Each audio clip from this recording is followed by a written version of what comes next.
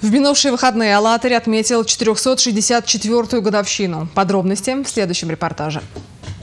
По традиции, в день рождения города на его центральных улицах слышна народная музыка. Алатырь вот уже 18 раз подряд принимает фестиваль «Звучи российская глубинка». В этом году сюда приехали творческие коллективы из районов Чувашии, а еще Мордовии, Ульяновска и Самары.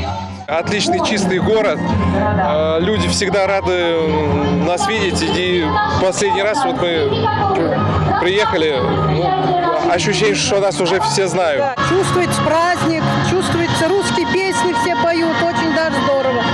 На сцене чествовали тех, кто внес неоценимый вклад в развитие муниципалитета. Писателю Валерию Кочеткову присвоили звание «Почетный гражданин города». Он написал десятки книг об истории Алатыря.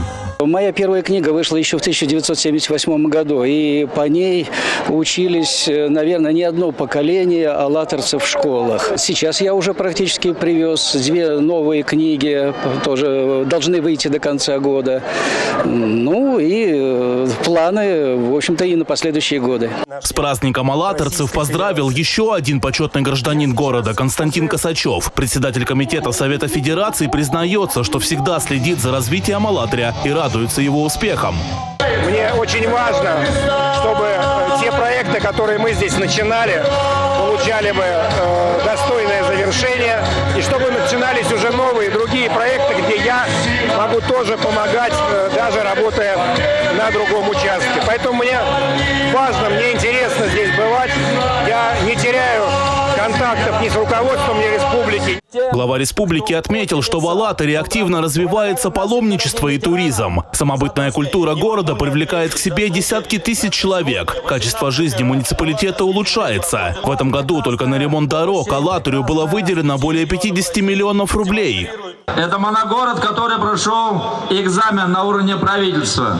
Сотни миллионов мы привлекли для того, чтобы улучшить качество жизни. Меняется облик самого города, благоустраиваются дворы и дворовые территории. Но в то же время на сегодняшний день очень много вопросов еще остается, над чем мы должны работать. Глава республики посетил строительные площадки. Квартиры в этих домах получат те, чье жилье признали подлежащим сносу. В рамках федеральной программы в Алатыре переселят около 500 человек. Будущие новоселы получат благоустроенные квартиры с внутренней отделкой и системой индивидуального отопления. Двухкомнатные, трехкомнатные, разные квартиры, да? комнаты, одной и двухкомнатной. Одной, понятно. Двух, сколько метров справа? От 30 до 50 метров квартиры. Считается 50, это почти трехкомнатные квартиры по площадности. Да. Толки усуйки. В Алатыре продолжают реализовывать и программу капитального ремонта дворов. В программе этого года 6 дворов и проезда к ним, расположенных в микрорайонах Стрелка, Западной, в центре города его исторической части.